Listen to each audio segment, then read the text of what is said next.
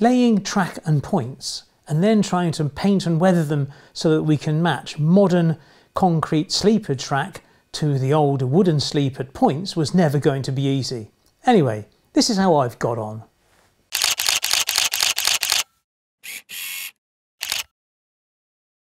Hi, welcome back to Chadwick Model Railway.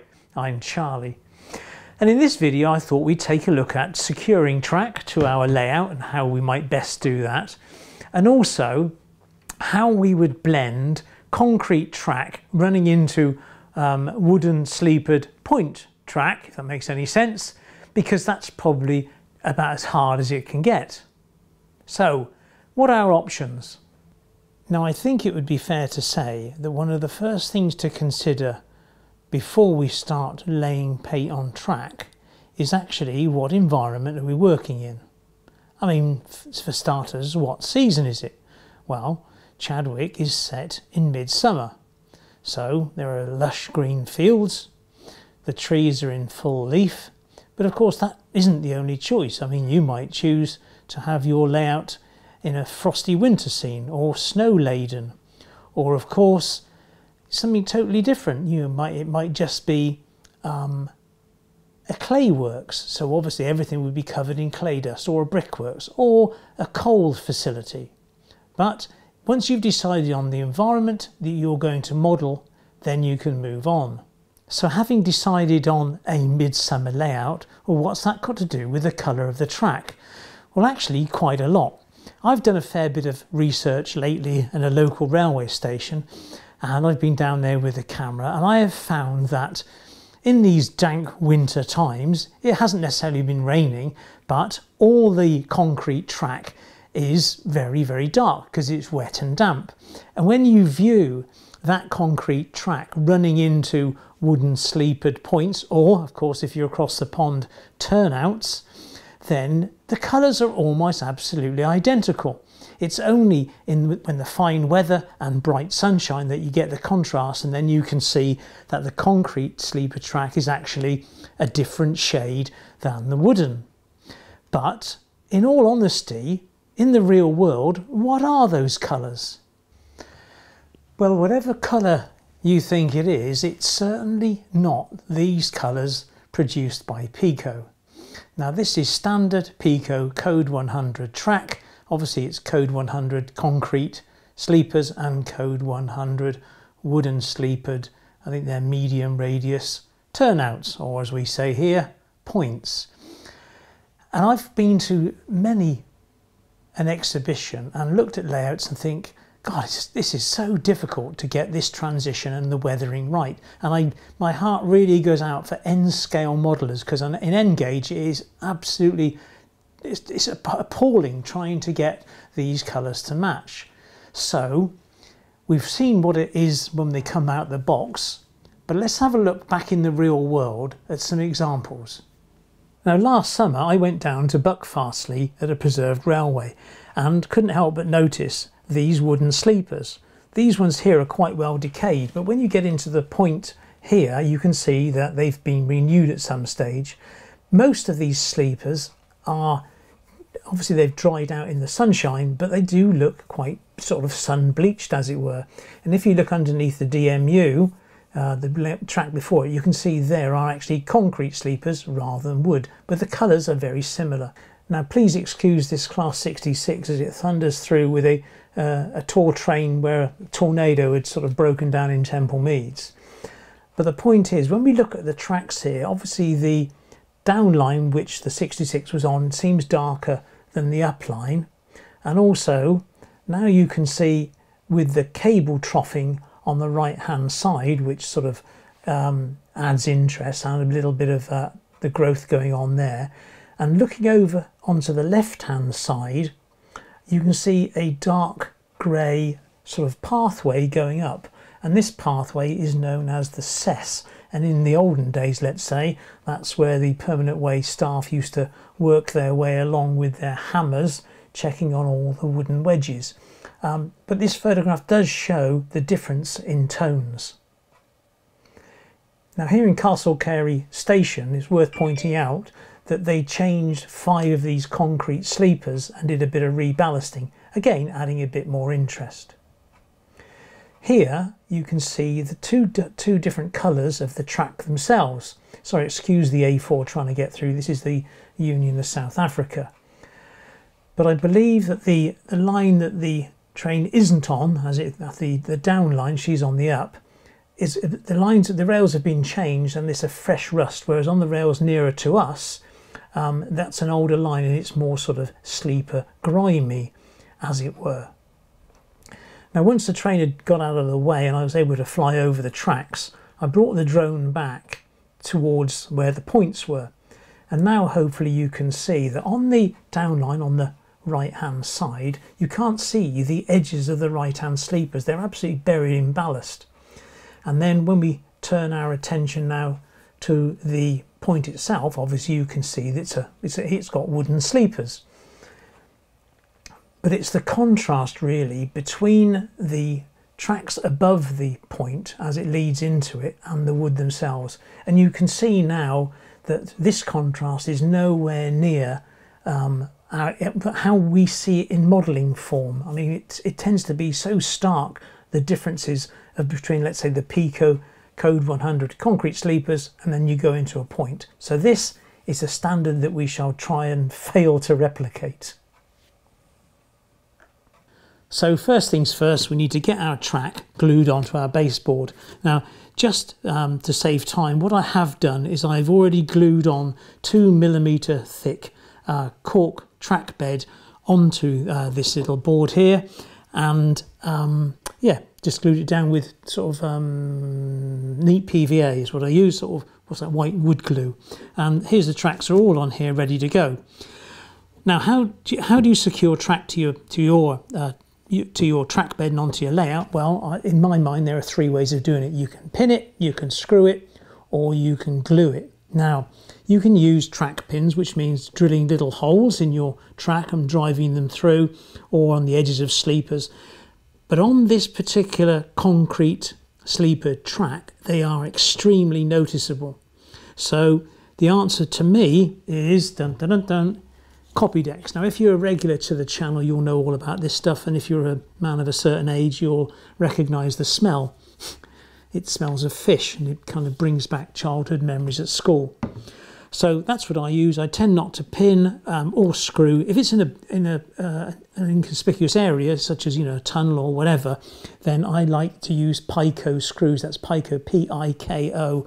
Drill a little hole in the sleeper and screw them down, because that way when you come to move them, when it's quite regular, really, isn't it? When you change your mind, it's easy to do. So how do you use Copydex? Well, Copydex.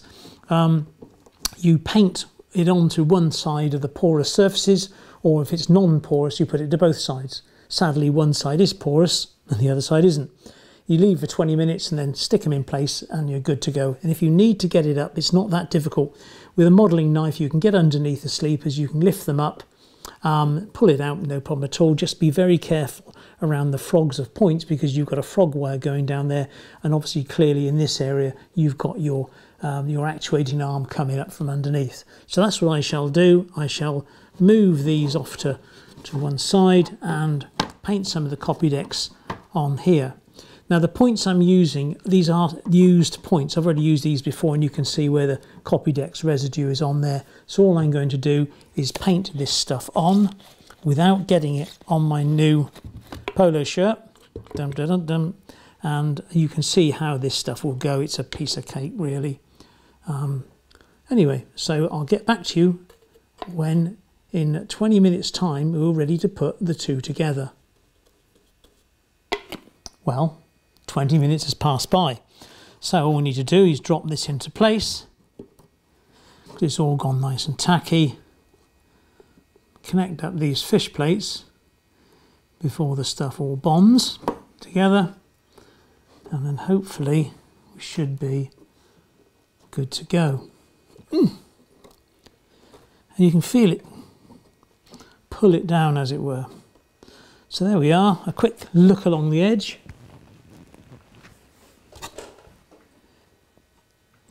Bit of a blob there.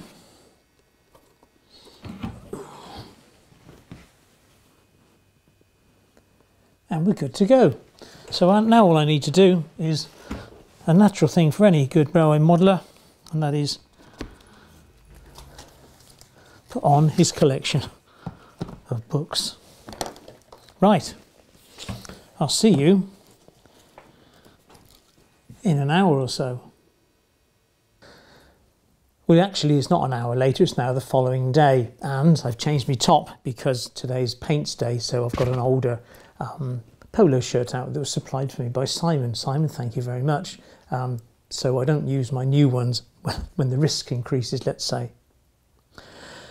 I came back to the railway room last night and did a little bit of um, testing, so I thought I'd show you the results of those. Now, um, I did some dry brushing and I thought I'd mention with my brushes I use um, this thing from um, Hobby Zone is one of my little sort of brush stands and it's ideal then because you don't lose or damage your brushes but that's what I use.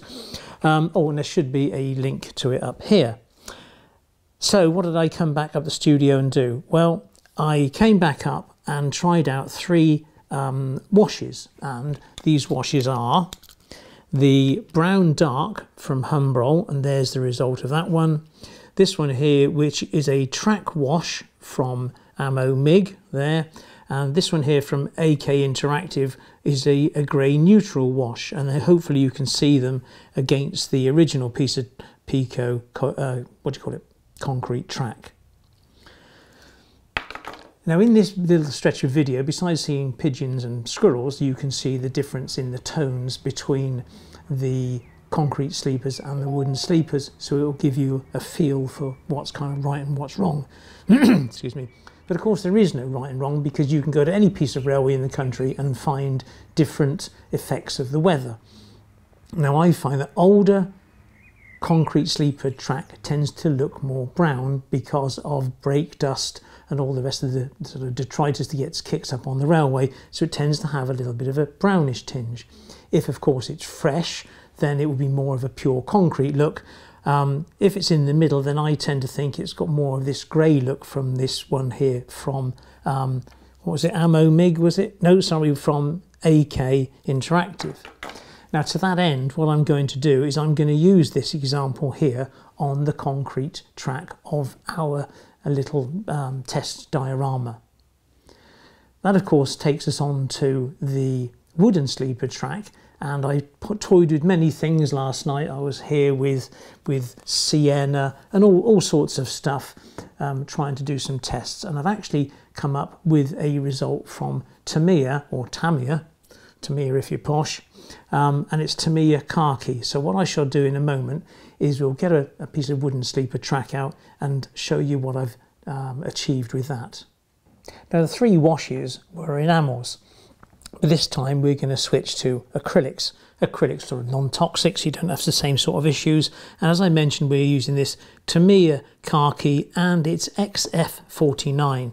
And I've got a, a sort of a cheapy um, size 10 brush from Revell here and all I intend to do is put it in there and then basically dry brush um, it onto the tops of the rails. I'm not trying to paint the rails in its entirety but just give it the feeling of the colour. So what we'll do is all, all I'm trying to do is just to give it a, a little dry brushing, bit heavy there I must admit.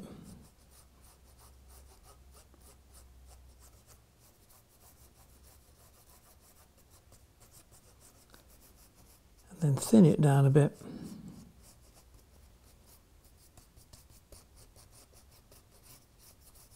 So we've got a very light film of paint on this area.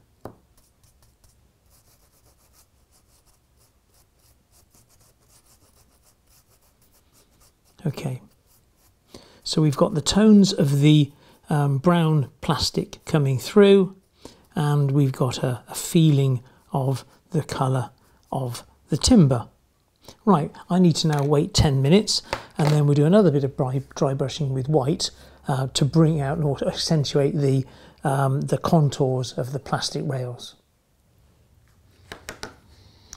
Well, 10 minutes has now passed and it's time to start thinking about the, um, the white highlights. And I'm using from Vallejo and it's Vallejo um, 70 dot 951 white. You'll be surprised.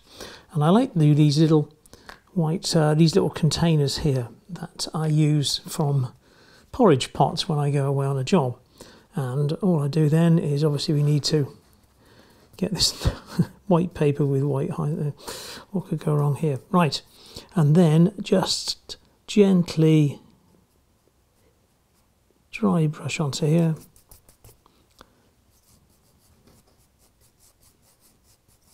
Nope, made a complete pickle of this, haven't I? Far too, far too much. Let me get that off.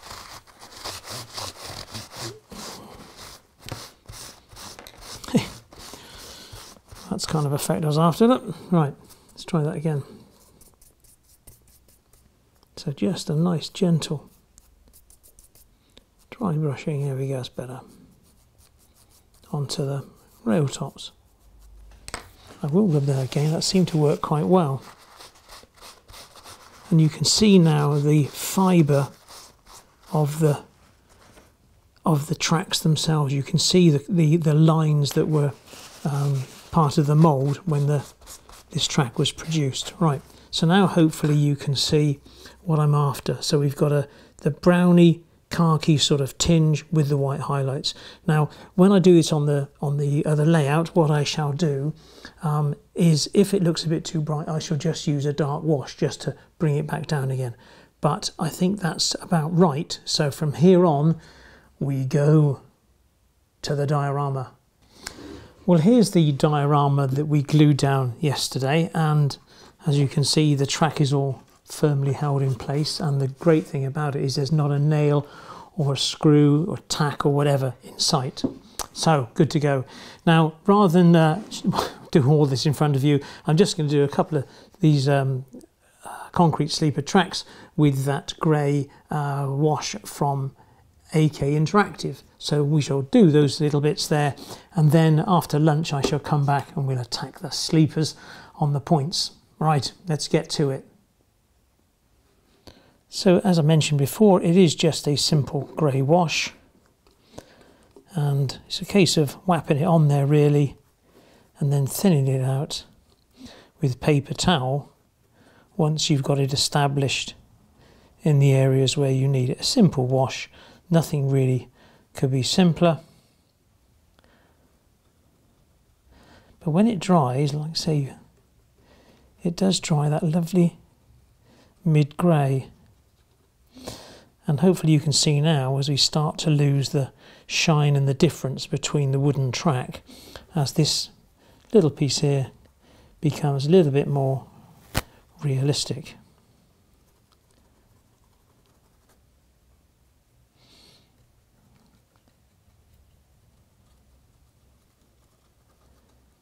I think that's the guts of it in place really. Haven't missed too much out and hopefully my hand's are not completely in the way ruining the, the shot for you. Okay. The great bit about this is if you make a mistake it doesn't matter because it's so easy to put it right. Now what I do now is get some some uh, blue roll and start to bring it back off again and you can sort of see it in its more its grey glory, as it were.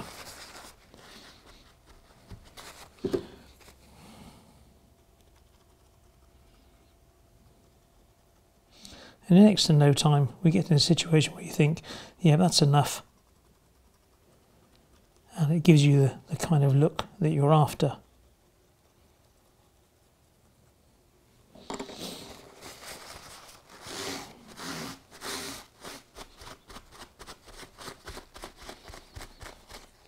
I think that is about right. So there we are in just a five sort of five or ten minutes. Just um, as like I said, a gentle wash over, and then using a bit of uh, blue towel to mop up the the excess, as it were, um, and try to make sure it's as even as possible. And it really has dulled down very well these concrete sleepers. Obviously, when it's ballasted, it will look great. So I'll leave that to dry and come back after lunch, and then we'll start on these two.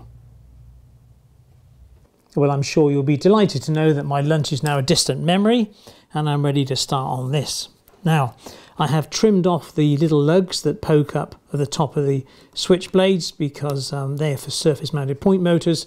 I've cut off the two lugs from the other side, as I do with all my points, um, because again they're for um, below surface Peco point motors, but I've left those two on there because they're useful for mounting dummy point motors. And I've also filled in the two little holes um, that were uh, used for securing this point in its previous life. So now it's just a case really of putting on some of this Tamiya and I'm not necessarily going to sort of dry brush it. I've been thinking about this and I'm going to put it on a little more thicker as it were and, uh, and then cut it back later once we've finished. So it's a case of more of a of a wood finish really, bleached wood finish is what I'm after. This shouldn't take too long and I'll be back shortly. So it's pretty much the same routine as before really. I've gone on and put a, a little bit um, of paint on but then with a paper towel is just to remo remove the excess and then blend it in. So you can still see some of the more earthy plastic colour coming through so it's not predominantly just solid khaki and I should just go and do the same with the next one. And one thing that I had forgotten to do, which I've done now, so better late than never, and that's to insert a little bit of Blu Tack in between the point blades to stop paint going down there. If you get any down there, it's not too hard to clean it out with a, a sort of a, a cotton bud and white spirit or whatever, but try to keep these clean and then you won't have to do the work afterwards. So a bit of Blu Tack does the job nicely. Um, so it's not just, uh, you know, you could use a piece of tape, but I, I tend to use Blu Tack. Well, that's those two points painted.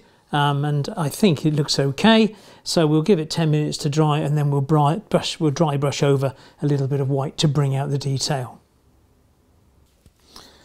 Well, I think that's had enough time to dry, so I'm just going to get some of this Vallejo white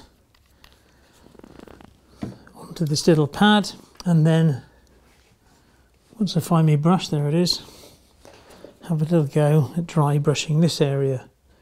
But instead of using a white piece of paper, we'll use a bit of blue this time, shall we? And see how we get on. Still a little bit thick, Charlie. Gosh.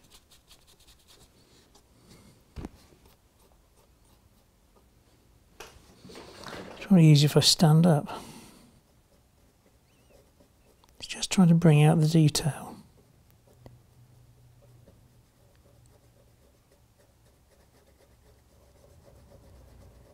That's better, but I need to get that other, just get some of that other paint off there. It shouldn't be too difficult.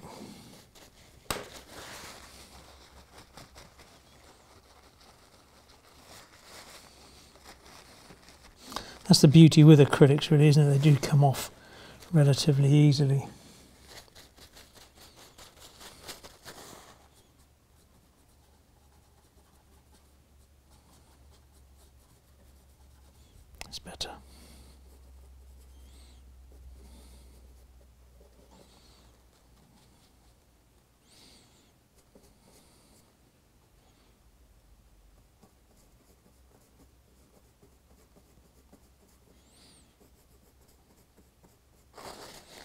I think we'll stop there. I'm not too sure this is completely dry. We'll hold back there. Now the clock's rolled on a little bit more now and I'm able to carry on that little bit of white dry brushing and that seems to have gone in much better now as you can see. So that's just about complete really. So what do you do now before ballasting? Well, I think it's time to paint the rails. So moving on to rail painting, what are our options? Well, if you're like me, you like to go to a lot of exhibitions. I sometimes look at some exhibits and go, a bit red, those tracks, aren't they? They seem to be very, very bright red. but then perhaps you know rails are different. You saw in the video earlier the downline um, was considerably not rustier, but uh, it was an early rust as opposed to the deeper one on the, the line with the A4 on the uh, um, the upline. It had sort of more sleeper grind to it. So I thought I would invest in some rail. Right. So this is, as you know, bullhead track. Left out in the rain for some years and get away, it's rusty. And just in case you don't like bullhead track, I thought I'd go and get some flat bottomed rail as well. Also been um, left out in the rain. And now we can look at the sort of colours of these two, if I turn it around that way. And you can see, you know, what it is. It's not very red at all, is it? Um, but sleeper grime does have an impact. Now, I've recently bought a tidy track track painter from Woodland Scenics and this is Rusty Rail number TT4581 if I can read upside down. That's TT4581 and here's a little bit of rail that I treated myself to. Now hopefully you can see on the top camera the that it is quite similar to this to there. So I thought I would give this a go. So what's this little thing about? Well basically it's a tube of paint with a ball bearing in it or something and then on the end there's like a it's not a felt pad it's more like a wooden pad or but it's a fiber that's quite stiff and then you run it along the rail. Now I find there's a little snag with it in as much as when you run it along the rail it hits the chairs as you'd expect so you don't get such a smooth line but you run it one way and run it then run it back the other and it seems to do the job quite adequately if, of course, you don't like this sort of stuff and you are a rail painter, then just use a fine brush. And one thing that I've found is that if you paint your rail in this sort of fashion, then put your rest your brush on the other rail as you go along the inside rail because doing it like that at an angle you are all over the place. So use a rest if you can of some description and you get a better feed. Some people paint their track after they've ballasted I don't, because I've made such a mess of it in the past, I tend to run the, the rail painter along the track before I ballast in case you get any big blobs on the ballast then it's hard to get rid of it. Just seems, just personal taste really, you know, so there we go. Right, so I'll get the diorama back and we'll have a little blast with this gizmo. So here we are with our little gizmo and as you rattle it and then you just poke it on a piece of paper a couple of times and um, the sort of pad goes into the pen and drags the paint down, all straightforward. Now if I tip the diorama on its side, then hopefully we can get some focus on here. And if I just run this pen along this track, hopefully you can see how it works. Couldn't be much easier, really, could it?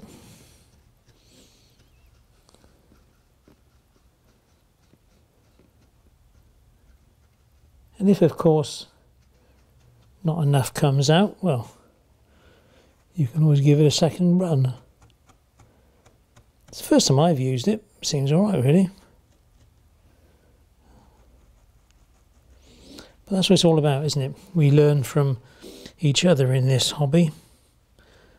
So, uh, anyway, if you leave me to it, and uh, I'll hopefully show you the finished article. Well, that's the rails painted. So all I'm going to do now is I'm just going to put a black wash across these um, wooden sleeper tracks now, just to dull those down a little bit. And we should be just about ready to go. Just to take some of the, the glare of the white away.